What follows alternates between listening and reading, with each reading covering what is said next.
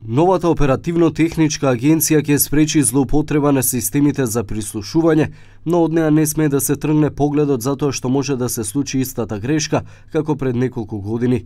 Екс-министерот за внатрешни работи Павле Траанов во изјава за ТВ21 побара значително поголема контрола на новата агенција од страна на Собранието, која ќе го вклучи копчето за надзор на комуникациите на 1 ноември следната година.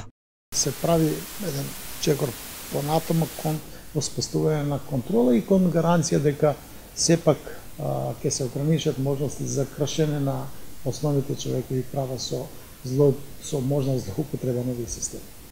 Транов смета дека во периодот додека опремата се префрли во новата агенција МВР мора будно да ги следи актуелните состојби во УБК, која се уште ги следи комуникациите, со цел да не се случи евентуална злоупотреба на системот.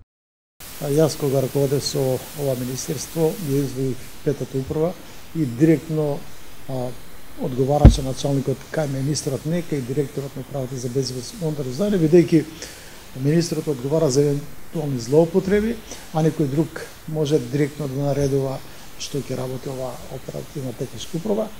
Формирањето на новата агенција се најавува веќе извесен период, а нејзината цел ќе биде во иднина да не се повторува масовно прислушување. Првиот човек во МВР Спасовски неколку пати досега повторува дека во овој момент засилени се контролите во УБК и не постои можност такво нешто да се повтори.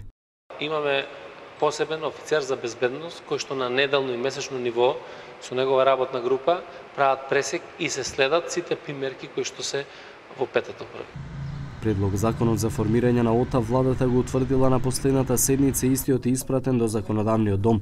На вчерашниот брифинг Оливер Спасовски и шефот на тајната полиција Горан Николовски појаснија дека системот е преземен од Хрватска, која пак го преземала од Велика Британија. Според информациите, ОТА нема да ги слуша разговорите, туку ќе биде медијатор меѓу барателот и лицето кое се следи.